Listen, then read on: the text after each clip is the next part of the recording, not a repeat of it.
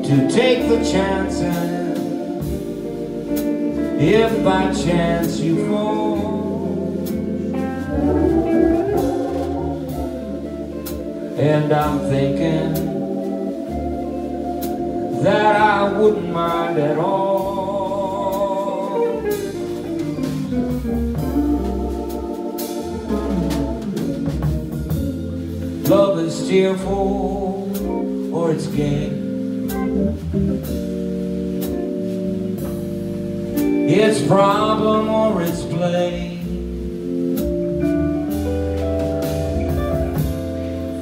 It's a heartache either way.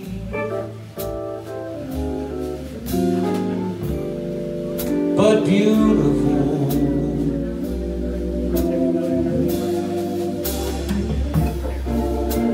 And I'm thinking You were mine Never let you go.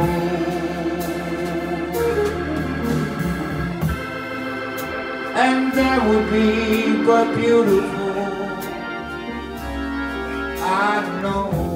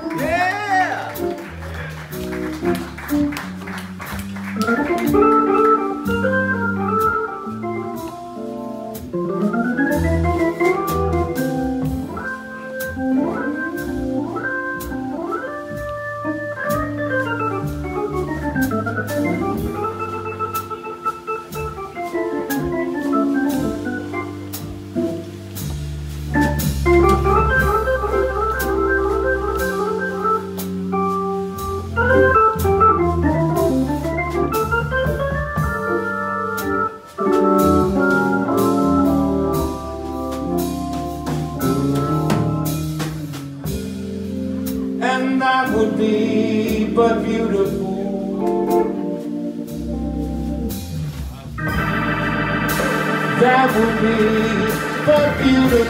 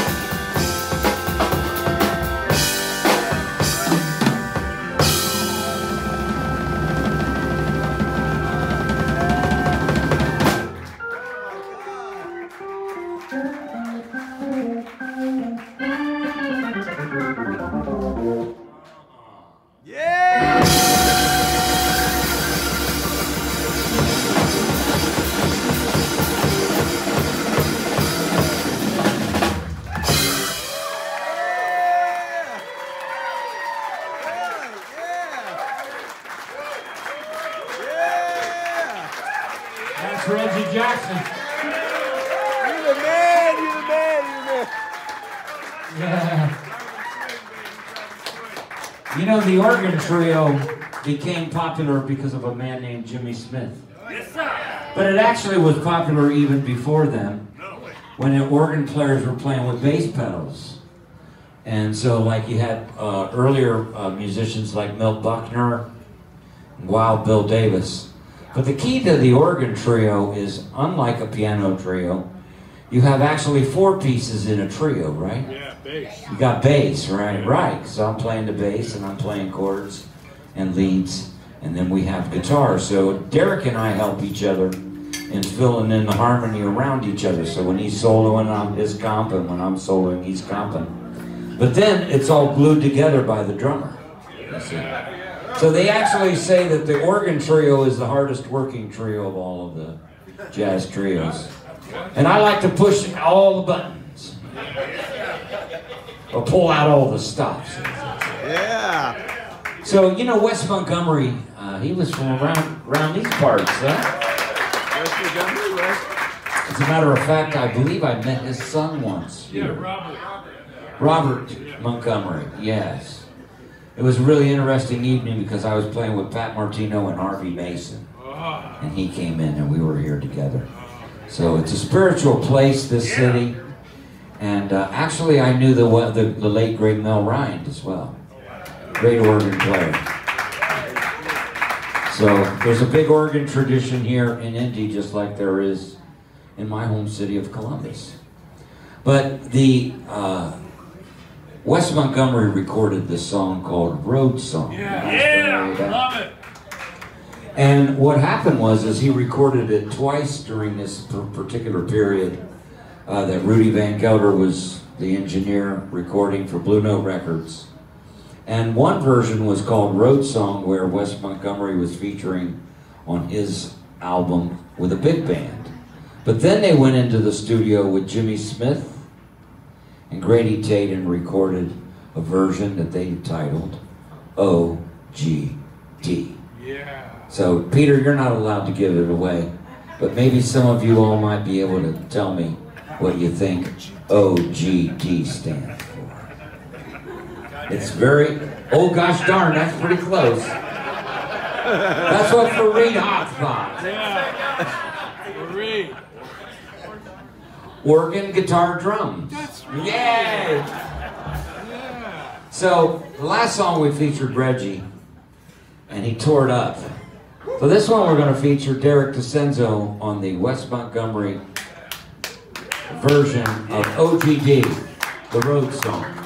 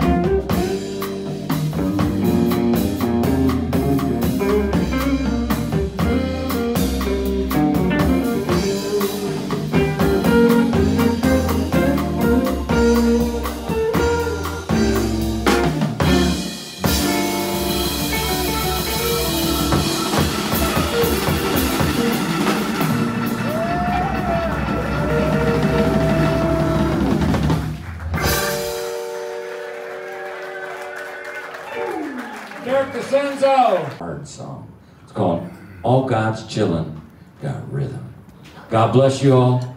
Hope you all have a Yeah. good night.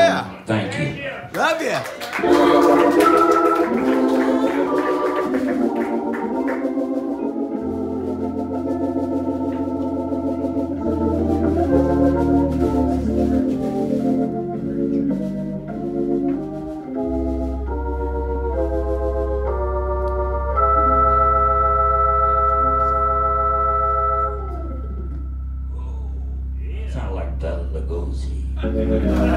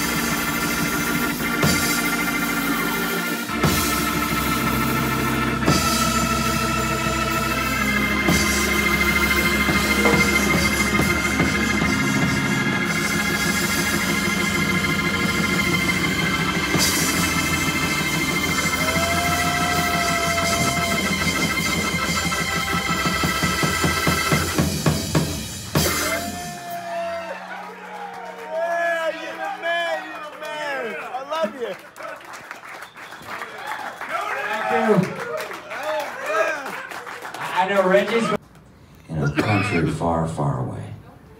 So hope you all enjoy it. Now, one, two, three, four.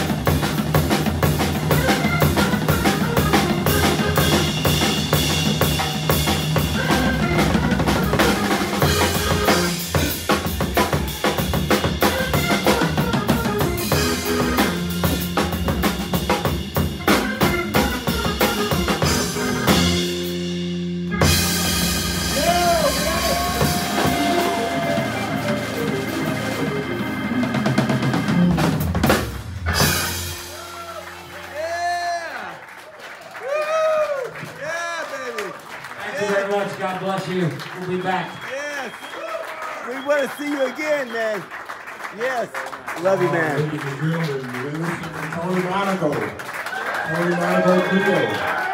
Okay. Oh, thank you. One of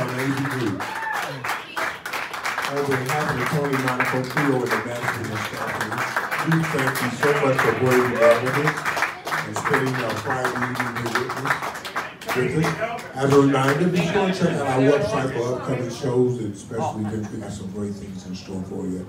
Also, uh, Tony has some merchandise available.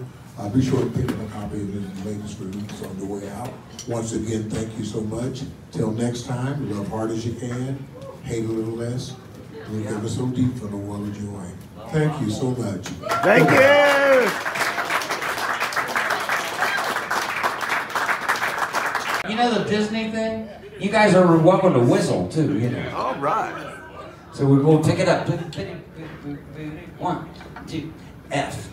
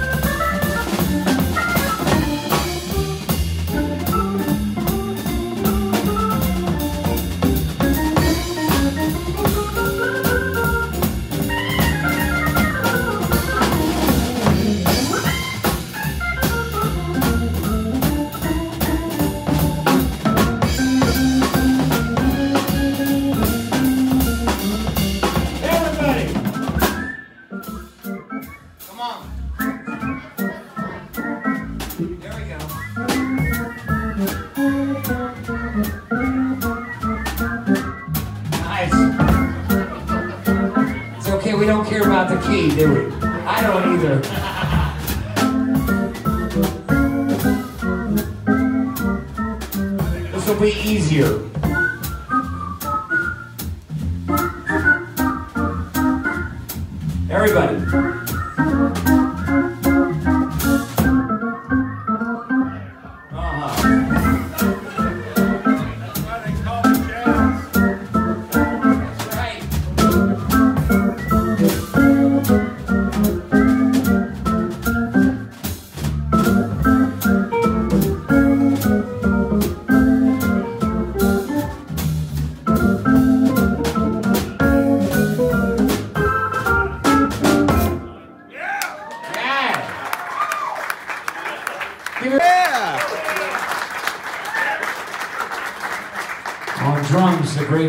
Jackson. Reggie! Yeah, my man. Nice, nice.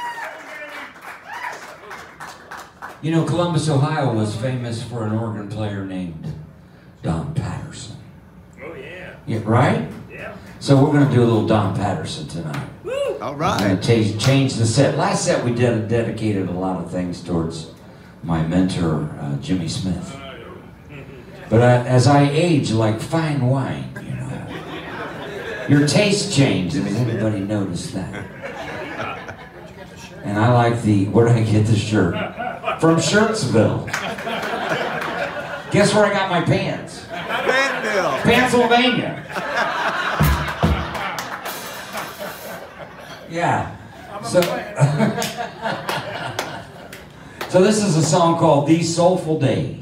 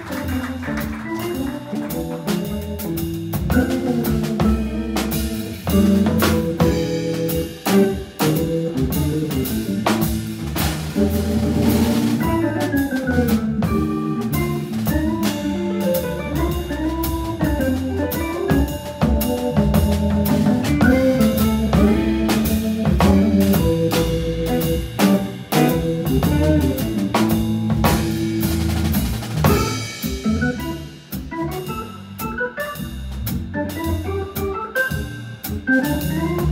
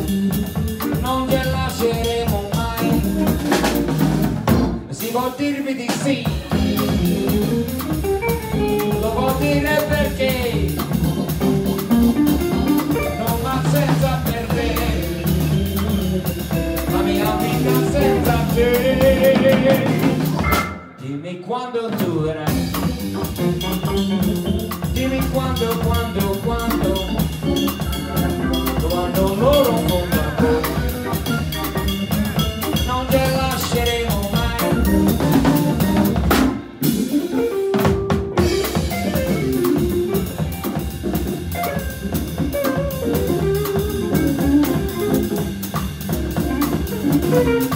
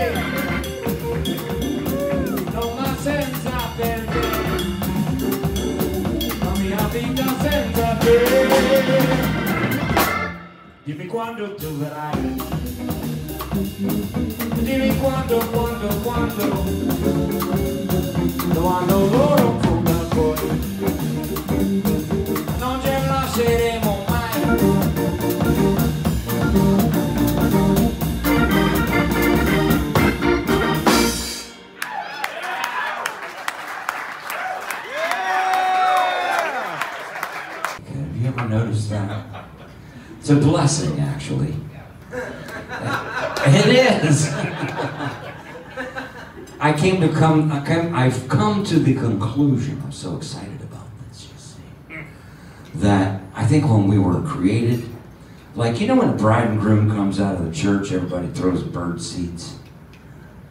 I think when we were created, God did the same thing with us. He went, and He sprinkled a unique set of talents on each and every one of us, so that no two people are alike.